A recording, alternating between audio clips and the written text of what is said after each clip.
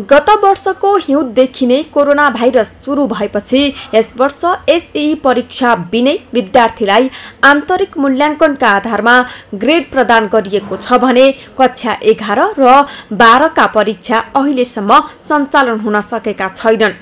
विश्वविद्यालयका परीक्षा तथा कक्षा प्रभावित हुँदा धेरै विद्यार्थी प्रभावित छन्। झन भोलिका कडाधार मानिएका विद्यालय तहका विद्यार्थीको पढाइ नहुँदा लाखौँ विद्यार्थी अन्यलमा छन्। यस्तो बेला रूपन्देहीका सामुदायिक विद्यालयले भने वैकल्पिक माध्यमबाट शिक्षा दिने नयाँ जुक्ति निकालेका छन्। विद्यालयको पकड क्षेत्रलाई पाँच भागमा विभाजन गरी शिक्षकहरूको समूह बनाएर नेपाली अङ्ग्रेजी गणित विज्ञान र सामाजिक गरी पाँच विषयको पढाइ सञ्चालन गरिएको छ।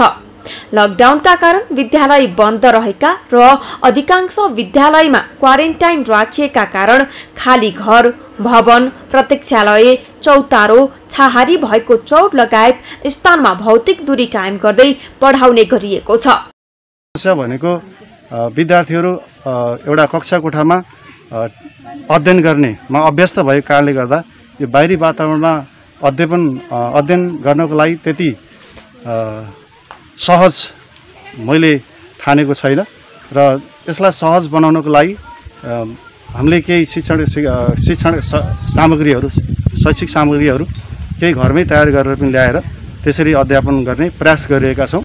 लकडाउनका कारण विद्यार्थी र अभिभावकलाई पढ्न सक्ने मनोवैज्ञानिक असरलाई न्यूनीकरण गर्दै वैकल्पिक शिक्षण सिकाइ पद्धति अप्नाइएको दुर्गादत्त माध्यमिक विद्यालयले जनाएको छ। प्रधानाध्यापक चण्डी प्रसाद पाण्डेका अनुसार सबै विद्यार्थीसँग मोबाइल र इन्टरनेटको पहुँच नहुने भएकोले अभिभावकहरूकै सल्लाहमा गाउँ गाउँमा र टोल टोलमा घुम्ती शिक्षा सञ्चालन गरिएको हो। घुम्ती शिक्षण प्रणाली अभ्यासको सुरुवातदेखि नै प्रभावकारी बन्दै गएको छ।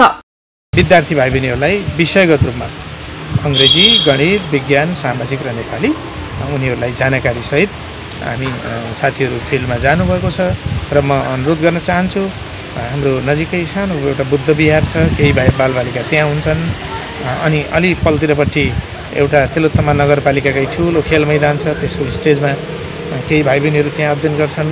अलि पल्तिरपट्टि प्रतीक्षालय छ त्यहाँ केही भाइ बहिनीहरू दूरी कायम गरेर कोभिड नाइन्टिनको खतराबाट मुक्त रहने गरी उनीहरूलाई हाम्रा शिक्षक साथीहरूले मास्कको प्रयोग गर्ने दूरी कायम गर्ने अनि उनीहरूलाई अनुशासनका कुराहरू सिकाउने घरमा अभिभावकहरूसँग गर्ने आचरणका कुराहरू समेत बताउने उनीहरूले कसरी समयलाई सृजनशील काममा प्रयोग गर्न सकिन्छ भन्ने कुरा समेत सिकाउने कुराहरू पनि हाम्रा शिक्षक साथीहरूले सिकाइरहनु भएको छ। अभिभावकहरूमा अत्यन्तै एउटा खुसीको सञ्चार भएको छ।